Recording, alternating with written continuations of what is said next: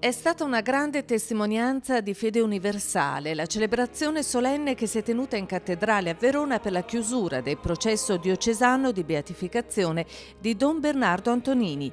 Presenti anche 13 sacerdoti russi e 50 pellegrini. A presiedere il vescovo di Verona Zenti, affiancato dal vescovo emerito Carraro, dall'arcivescovo della Madre di Dio a Mosca Paolo Pezzi, dall'arcivescovo emerito di Karaganda Schneider, dall'arcivescovo di Minsk Kondrusiewicz Šuškevič, che era a Mosca quando Don Bernardo aprì il seminario, che diede i primi preti cattolici dopo 82 anni di silenzio della Chiesa cattolica russa. Lei l'ha conosciuto bene Don Bernardo? L'ho conosciuto molto bene, ricordo l'anno 1991 quando Giovanni Paolo II mi ha mandato, dal, mi ha mandato dalla Bielorussia in Russia e subito dopo ho ricevuto una telefonata in lingua inglese, parla un sacerdote, dice che si chiama Don Bernardo Antonini, un professore eh, della Sacra Scrittura e vuole lavorare in Russia.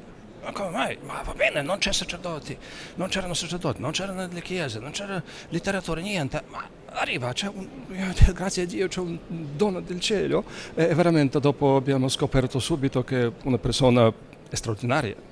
Dunque il ricordo è molto vivo e devo dire, eh, anche se io l'ho, l'ho conosciuto, l'ho incontrato una volta sola, ma quello che mi stupisce sempre è di... Mm, eh, quando, quando, visito le, le, nostre comunità in tutta la diocesi e a volte mi è capitato anche fuori della, della diocesi in Russia eh, che ci sia, adesso non dico sempre, ma quasi sempre qualcuno che mi parla, mi ricorda, mi ricorda Don Bernardo, mi racconta qualcosa di lui e, e questo è qualcosa di, di, vivo, molto vivo e attuale, cioè non è qualcosa che sia passato nel tempo.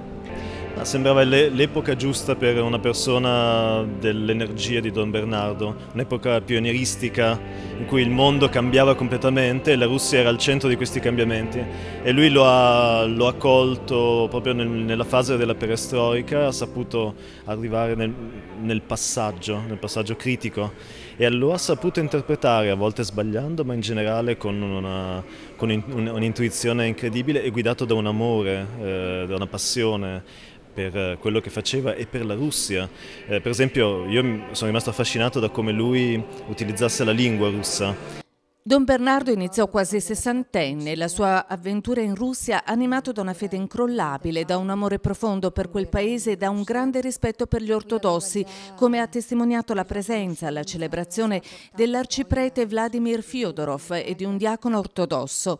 Nell'omelia il vescovo Zenti ha ricordato l'amore di Don Antonini per l'Eucaristia e la confessione, il suo dare tutto con eroismo andando al di là delle incomprensioni e desiderio di essere un Vangelo vivente, come testimoniò anche nell'ultimo anno vissuto in Kazakistan a Karaganda.